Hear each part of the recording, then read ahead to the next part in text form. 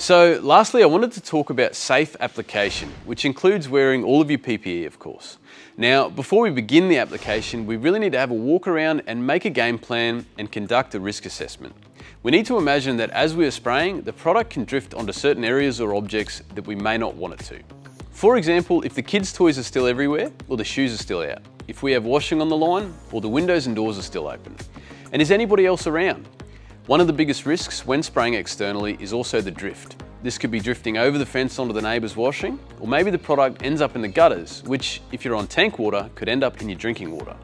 Or even just into drainage and onwards into the creeks or rivers. This is particularly concerning because birds and aquatic life are highly sensitive to most products.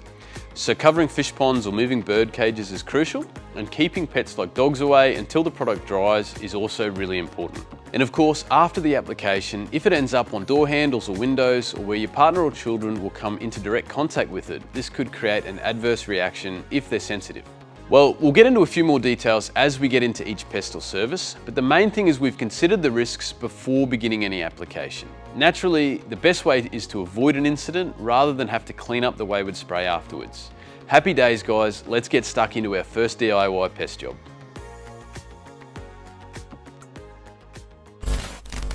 Hi guys, hope you're enjoying the DIY series. If you are, it would mean a lot to us if you can give us a like and consider subscribing to our YouTube channel.